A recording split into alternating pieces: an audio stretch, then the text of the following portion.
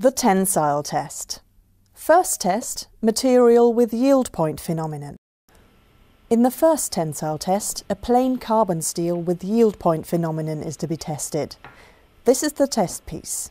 It has a cylindrical test region with an original diameter of 10 mm and an original gauge length of 100 mm. Within this test region, distance marks have been drawn at regular intervals. They help to visualize and measure the plastic behavior of the specimen. Using a hand control, the tester moves the upper crosshead into its correct starting position. Now he can place the threaded ends of the test piece in the lower and upper grips of the testing machine.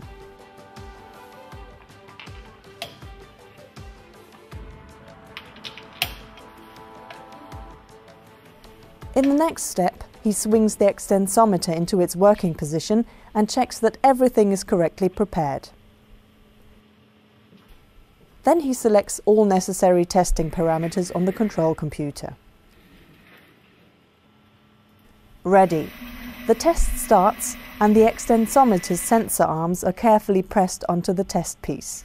This way, the gauge length can be measured throughout the whole tensile test.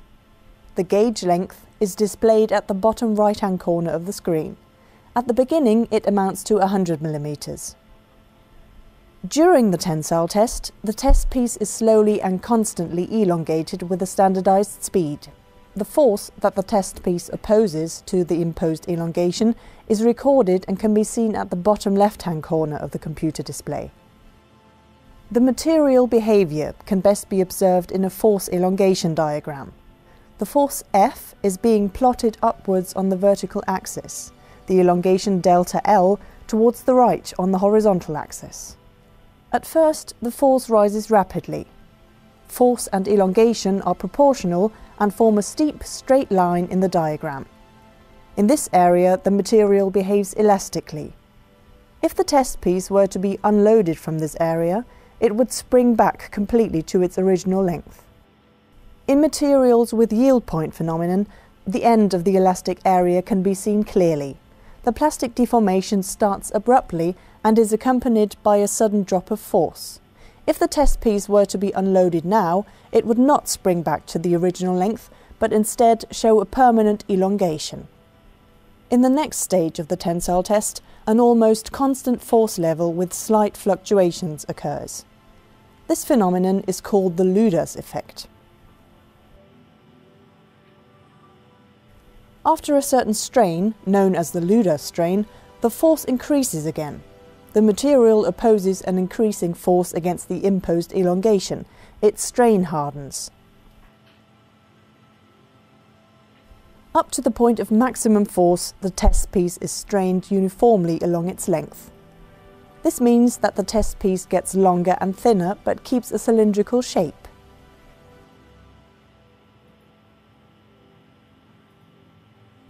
As soon as the maximum force is reached, a neck begins to form at one point of the test piece. All further plastic deformation now only takes place at the neck and eventually the test piece fractures there.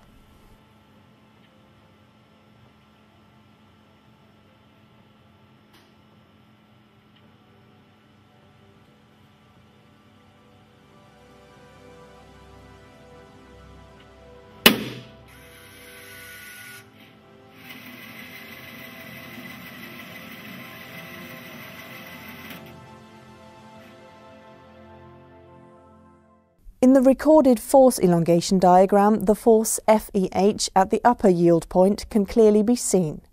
This is the highest force the test piece can sustain elastically. FEL is defined as the force at the lower yield point, Fmax as the maximum force. Using these forces, the strength properties of materials can be calculated.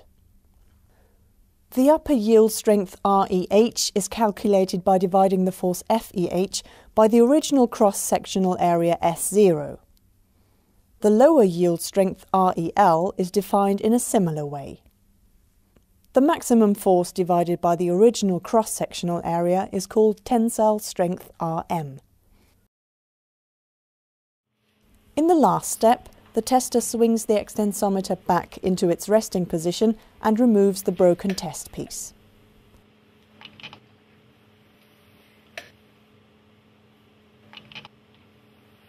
On the work table, he puts the fragments back together again. With the help of the distance marks, the percentage elongation after fracture can be determined. This is the permanent strain after fracture and amounts to about 30% in this example. Please note that the percentage elongation after fracture depends on the length to diameter ratio. By measuring the smallest diameter at the point of fracture, the percentage reduction of area can be calculated. It describes the reduction of cross-sectional area at the point of fracture in relation to the original cross-sectional area. In the second tensile test, a material without yield point phenomenon is to be tested. In this case, it is a precipitation-strengthened aluminium alloy. The test piece has exactly the same shape and dimensions as the specimen in the first test. It is cylindrical, with an original diameter of 10 mm and an original gauge length of 100 mm. After fitting the test piece into the testing machine and panning the extensometer into its working position, the test can start.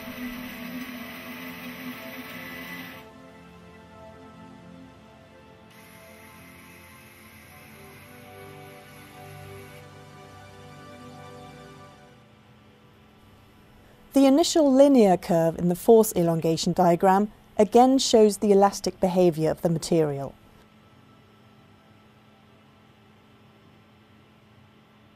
but this time the end of the elastic area is not revealed by a sudden drop of force or any distinct change. There is a smooth and gradual transition from linear elastic behavior to plastic deformation. In the further course of the tensile test, the force increases and the test piece again is strained uniformly along its length. At the point of maximum force, a neck develops, and all subsequent plastic deformation is confined to this neck until fracture finally occurs there.